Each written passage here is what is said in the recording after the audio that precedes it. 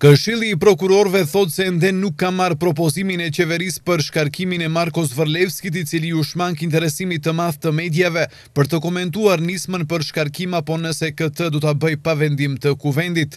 Prokurori i Shtetit ishte i përsosur deri më tani, sipas mendimit tim unë nuk kam asnjë vërejtje për punën e tij, deklaroi Petar Anevski, kryetar i Këshillit të Prokurorëve. Prokurori publik Marko Zvërlevski nuk ka asnjë të metë profesionale, Të paktën për kryetarin e Këshillit të Prokurorëve Petar Anevski, ai është shumë i kënaqur me përkushtimin dhe angazhimin e tij të deritanishëm. Por pavarësisht nga kjo pikëpamje personale e Anevskit, qeveria ka iniciuar procedurë për shkarkimin e Zvërlevskit. Por propozimi ende nuk ka mbërritur në Këshill, pasi ta kenë pranuar brenda një afati të arsyeshëm Do të përgjigjen pozitivisht ose negativisht, nëse Zvërlevski para kohe duhet të shkarkohet nga pozita e prokurorit shtetëror. Në seancën e sotme të Këshillit të Prokurorëve erdhi edhe Marko Zvërlevski. Nga frika e pyetjeve të gazetarëve, shoferi makinën e policisë me të cilin vozitet e parkoi menjëherë në hyrje të ndërtesës.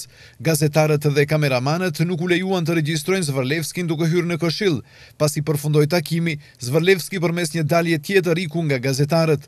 Zvërlevski dhe Anevski në takimin e sotëm kanë diskutuar për situatën në Prokurori.